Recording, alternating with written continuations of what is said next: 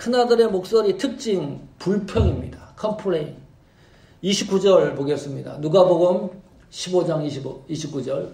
아버지의 대답 아버지께 대답하여 가로되 내가 여러 해 아버지를 섬겨 여기까지 명을 어김 없이 어김이 없거늘 너무나 문장이 괜찮죠.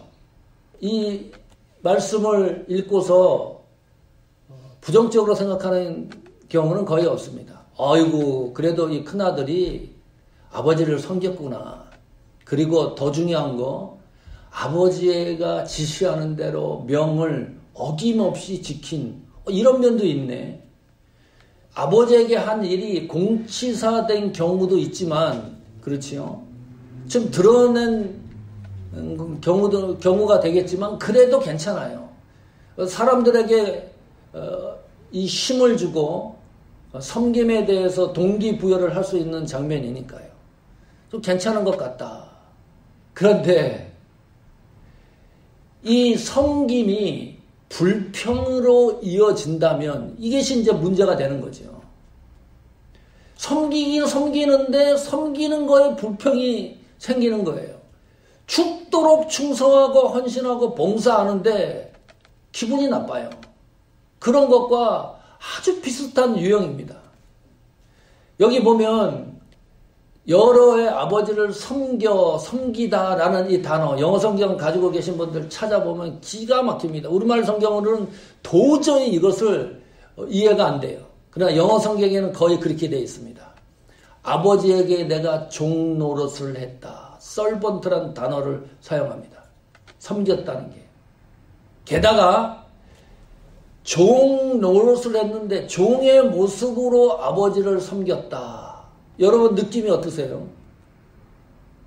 아버지를 종처럼 섬겼대요. 이 아들이. 박수 쳐야 될 일입니까? 이것이. 이 아들 참 대단하다. 아버지와 아들 관계입니다. 그런데 아버지와 아들 관계인데 이 장자는 아버지와 아들 관계를 자녀의 관계를 종과 주인의 관계로 완전히 바꿔놨어요. 아버지를 폭권으로 만들어 놨어요.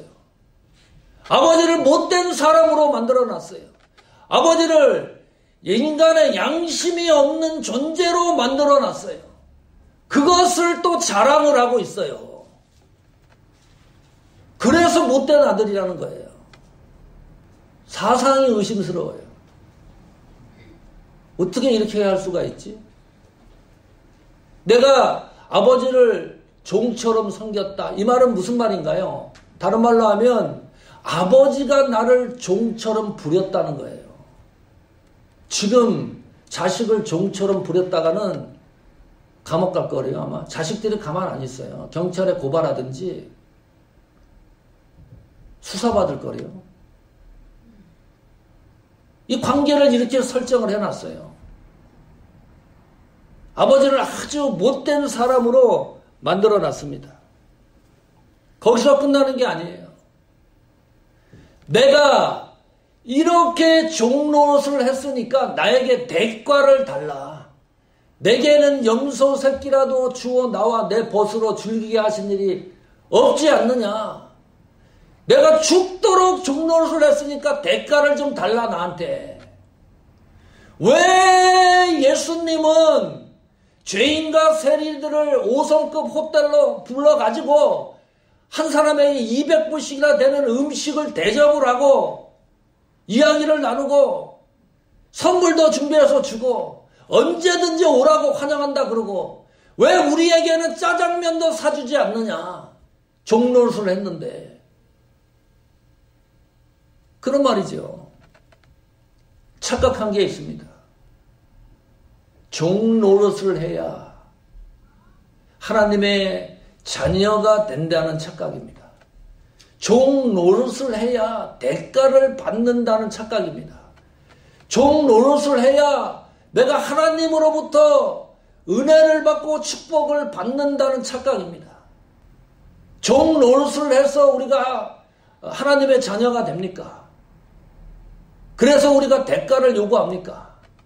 하나님의 축복과 하나님의 자녀는 하나님 의지의 결정에 의해서 선택되고 결정된다는 사실을 확인할 필요가 있습니다.